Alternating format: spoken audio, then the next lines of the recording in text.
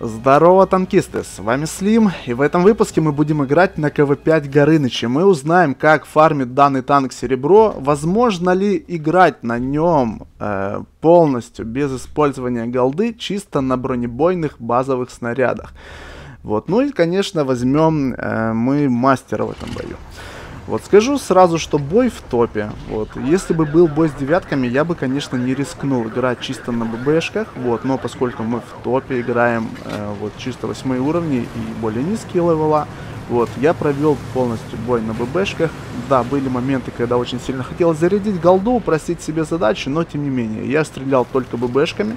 Получил достаточно вкусный и хороший фарм. Конечно же, э, итоговые результаты вы все увидите в конце этого видео. Вот, ну и, соответственно, карта Redshirt 1944. Новая карта, точнее, новый Redshirt, который появился в патче 4.1. Вот, но поскольку я данную карту знаю, играя на ПК, мы там э, на этой редшере уже играем достаточно давно, я знал, что мне, конечно же, надо ехать на правый фланг. То есть тут такое ущелье, оптимально подходящее для тяжей, то есть тут нету прострела с центра карты, есть сейв от артиллерии, ну и как бы ближний бой, где тяжи лупятся лоб в лоб. Единственное, что надо оценить было ситуацию, то есть посмотреть, сколько тяжей у противника, сколько тяжей в нашей команде, вот, и сможем ли мы их здесь перебить. Вот, поскольку бой в топе, тяжи у нас тоже есть, у них, в принципе, как бы не такое уж там э, большое там э, преимущество по железу было. Вот, свободно едем на правый фланг и будем сейчас быстренько рубиться. Отдельно хочу сказать, что КВ-5 для меня это абсолютно новая машина. Я никогда на нем не играл ни на ПК, ни в консольных танках. Это где-то мой третий или там, может быть, пятый бой. Вот, танк, э, к танку я еще привыкаю, вот, будут ошибки, вот, бой не идеальный, но, тем не менее, мастероса и хороший фарм мы в этом бою обязательно покажем. Ну что ж, первая жертва Тигр П, вот, потом к нему присоединяется Т-32 и сюда еще приедет Страж. Вот. И я был на удивление, ну, удивлен очень сильно, другими словами, что эти парни не знают, куда пробивать КВ-5.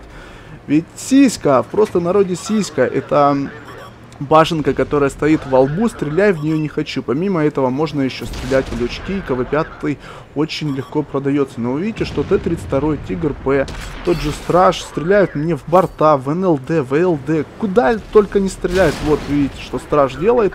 Вот, и КВ-5 очень классно танкует. Да. Вот да, ну, как бы тут тоже есть небольшая моя заслуга. Я стараюсь там хаотичные какие-то движения делать, там кручу корпусом. То есть, ну, делать то, чтобы как бы им э, максимально усложнить попадание вот эту э, башенку радиста, которую я назвал сиська, если кто не в курсе. Ну, ее так в рандоме все, я думаю, называют. Вот, э, ну, соответственно, вот, то есть я усложнял им эту задачу, и не, вы видите, вот, действительно, мне еще не э, сняли хп. И вот, в принципе, страж уже практически разобранный, да, я немножечко решил понаглеть. Понаглел, и, в принципе, это была моя главная ошибка. ХП, э, то есть выехал на три ствола, там, возможно, еще ПТшки где-то вдалеке стоят. То есть, в принципе, как бы понаглел, перестал пробивать стража на этих ББшках, вот, и очень-очень-очень быстро хпшечки у меня закончились. Вот, я стал, ну, практически ваншотным, это моя ошибка. Но, тем не менее, с главной задачей мы справились, то есть сейчас сольем стража, продавим этот фланг и будет все хорошо. Но из-за незнания танков, из-за элементарных ошибок. То есть, ну, разбираешься стража, стой там на своей половине этой территории, да, за укрытием, разбирай его дальше. Разберешь, поедешь вперед. Нет, вот осталось чуть-чуть у стража хп, полез вперед и как бы раздал хп как мог. Вот это моя ошибка, тут уж не судите строго. Незнание танка все-таки дало о себе знать. Я честно поверил, что они дальше меня не будут пробивать, даже если я выйду на их территорию. Ну вот, собственно, фланг зачистен, э, Т-32 в ангаре, Страж тоже, Тигр П, вот, ну и продолжаем наше движение. В принципе, мы видим, что в этом бою э, у нашей команды все хорошо, то есть мы развалили этот фланг, э, парни э, развалили остальные направления, и, в принципе, как бы хоть счет приблизительно равный, я больше чем уверен, что бой шел, был уверен на тот момент, что бой шел к победе. Вот, что касается вот самой идеи вот фарма на КВ-5 Горыныче, вот, э, именно на ББшках, то есть я сам об этом подумывал, потому что вот, мне было интересно, я знаю, что вот на ПКшных танках э, КВ-5 уже давно не актуален, там новый балансер, там э, новые танки, еще, то есть много чего другое, то есть, в принципе, КВ-5 там уже мало кто выкатывает консольных танках все с КВ-5 хорошо. Танк действительно, вот сколько я боев провел, э, это льготный премиум танк, который не попадает к десяткам, хотя находится на восьмом уровне.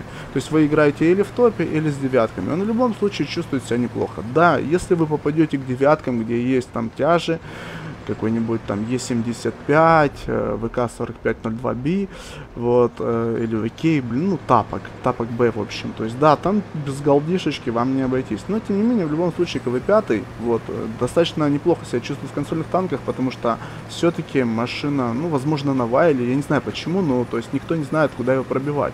То есть, действительно, э, ты можешь просто ехать, давить направление. Тем более, КВ-5 меня, честно, удивил, своей мобильностью. То есть я думал, это будет какой-то ползающий Т-95, КВ-5 достаточно неплохо двигается. То есть, в принципе, для такого громоздкого большого танка с большой массой КВ-5 хорошо ездит и, в принципе, это радует. Я не люблю медленные танки, вот, но КВ-5, вот на КВ-5 мне было играть вполне комфортно.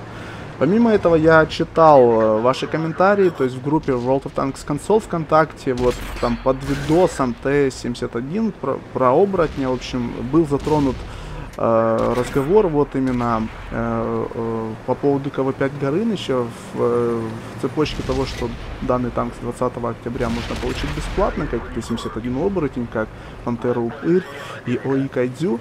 Так вот, э, несколько интересных, забавных комментариев я прочитал. То есть некоторые люди утверждали, что КВ-5 обычный, КВ-5 Горыныч это разные танки, у них э, э разные ТТХ, у Горыныча типа лучше бронепробитие там или еще что-то. На самом деле это неверная информация. КВ-5 обычный и КВ-5 Горыныч это одна и та же машина, имеющая одни и те же характеристики, разница только в камуфляже и в названии танка. Вот, ТТХ у них абсолютно одинаковая. Помимо этого, тоже владельцы КВ-5 Горынычей вот писали, что вот на ББшках действительно э, в рандоме очень тяжело фармить, вот, э, то есть, ну и прочее. Ну, как бы, я не скажу, что миссия невозможная, то есть, вы видите, если бы попали вы в топ, бой с восьмерками, то провести бой э, чисто на ББ и неплохо нафармить, вот, вполне реально. Конечно же, если вы попадете к девяткам, вот там уже немножечко придется раскошелиться на голдовые снаряды, но в любом случае, если вы выиграете этот бой, то оно вам окупится и все равно фарм в любом случае будет. Соответственно, бой подошел к концу. Вы видите, что я настрелял 3969 единиц урона, то есть почти 4К. Э, сделал практически 1000 ассиста, то есть насветил, нагуслил, вот, сделал пару фражиков, вот, ну и, соответственно, за это все я заработал 125 тысяч серебра. Вот. Просто отличный фарм, я считаю. Ну, соответственно, конечно, он очень сильно зависит от того, как вы покажете себя в бою, сколько настреляете, сколько насветите и так далее. Вот. На этом у меня все. С вами был Слим. Всем хорошего настроения, удачи вам в боях, отличного фарма. Подписывайтесь на мой канал, если вы тут впервые не подписались. Не забудьте поддержать Слима лайком. До новых встреч. Всем пока.